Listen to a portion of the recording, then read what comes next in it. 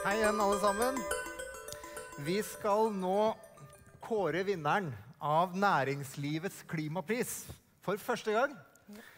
Prisen er et samarbeid mellom Zero og NHO og NTNU. Og vi tre som står her, vi har vært juryen. Fra Zero sin side så er jo motivasjonen for prisen å sette søkelys på at det er innovasjon i næringslivet som er nøkkelen til grønne skiftet. Uten innovasjon entreprenørskap og ny teknologi i store og små bedrifter så klarer vi ikke omstillingen til nullutslippssamfunnet. Og Norge har jo alle mulighetene eh, vi er eh, til å ta posisjon i front på grønn teknologi og grønne arbeidsplasser. Så vi har fått inn utrolig mange gode kandidater. Og mange av de er verdensledende innenfor sine felt. Og, og det gjelder både å finne energieffektive og klimavennlige løsninger innenfor sin bransje. Det har derfor ikke vært enkelt å kåre vinneren. Men vinneren demonstrerer nettopp teknologi i praksis på et område hvor Norge er verdensledende, og hvor utslippene er eh, store. Og dette er jo noe som jeg vet at også Ingvald Strømmen Du er dekan ved Fakultetet for ingeniørvitenskap på NTNU. Det er du også opptatt av? Det er vi veldig opptatt av, og vi er med å utvikle teknologi som skal være med å bidra til klimaskiftet. Så, så det er vi veldig opptatt av. NTNU har en flott visjon, nemlig kunnskap for en bedre verden. Eh, og det jobber vi hver dag med å realisere. Eh, og så har vi også et samfunnsoppdrag som handler om å bedre konkurranseevnen i industrien. Så i grunnen i snittet det er koblinga mellom de to vi opererer. Kristin Skogen Lund, administrerende direktør i NHO. Når vi ser på de nominasjonene som vi har fått, så er det vel eh, grunn til å være optimistisk for, på vegne av norsk næringsliv og i forhold til klima?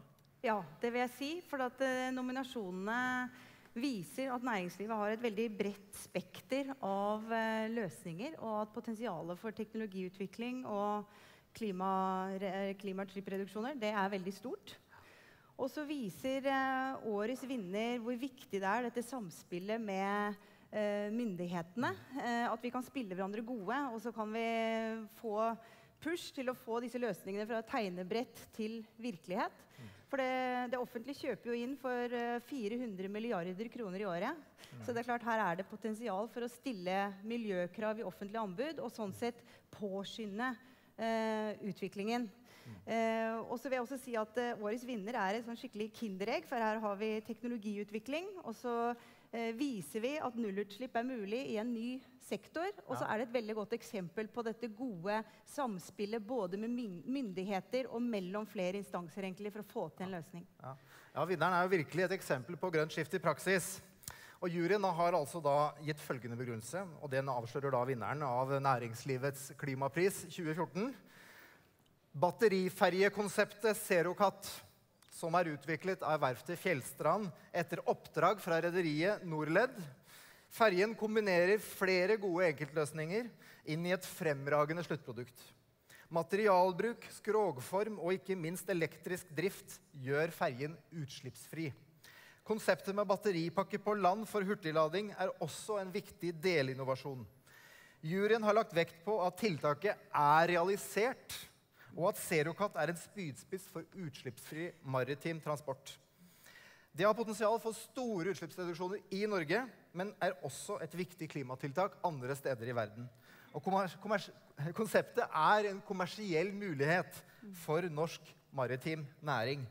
Mine damer og herrer, årets vinner av konseptet Zerocat er Ampere. Der, ja. Så jeg vil be Edmund Tolo Edmund Tolo fra Fjellstrand verft, som har bygget ferjen. Lars Jakob Engelsen fra Norled, som har bestilt ferjen.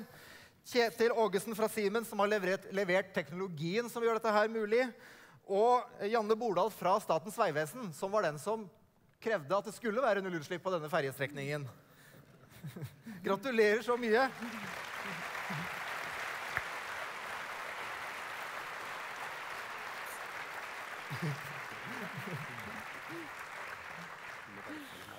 Vær så god, og gratulerer. Den er veldig tung, så jeg vet ikke om du klarer å holde både den og en mikrofon, men gratulerer. Fantastisk takk. hjelpe deg. Fantastisk bra gjort. Tusen takk. Og et diplom. Gratulerer. Og vi har flere diplomer her. Gratulerer. Gratulerer. Og gratulerer. Veldig hyggelig. Ja.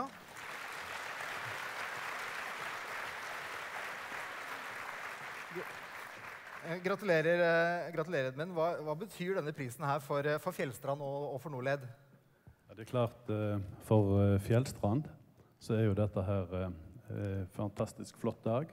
Han viser hva norsk skipsverftsindustri er i stand til. Eh, Den industrien er verdensledende.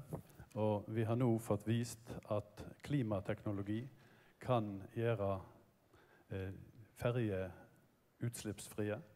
Teknologien er på plass. Det er kun snakk om å ta den i bruk for resten av ferjene.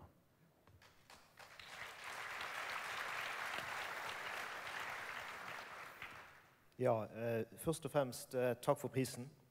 Og så takk til dugnadsgjengen. Eh, for dette er jo en ordentlig dugnad med Vegvesenet, Siemens, Fjellstrand og oss i, i Nordled. Eh, og så vil jeg si at eh, eh, dette er en flott anerkjennelse av det som er litt sånn trodde vi en stille revolusjon innenfor eh, for ferjebransjen. Og nå er den kanskje ikke fullt så stille likevel.